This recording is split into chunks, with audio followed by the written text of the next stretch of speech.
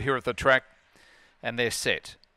Ready, racing. Funky Facts came out okay, showing early speed was Hello I'm Robin, also quite sure. Getting across to third was Funky Facts. Up on the inside was Jewfish, wanted to get up the track, and then followed by Hello I'm Ruby. And Go Get 'em Santa was slowly away as they go down the back, quite sure the leader. Out by three lengths, Funky Facts runs into second, then followed by Hello I'm Rob. Three lengths away was Hello I'm Ruby. Off the back though, quite sure. Still by two and a half lengths, Funky Facts trying to lay down the gauntlet, runs into second. Into the straight, quite sure is nicely clear, and quite sure wins by two and a half lengths on Funky Facts. Third tight, Jewfish or Hello I'm Rob, then followed by Hello I'm Ruby, and Go Get 'em Santa was the last in.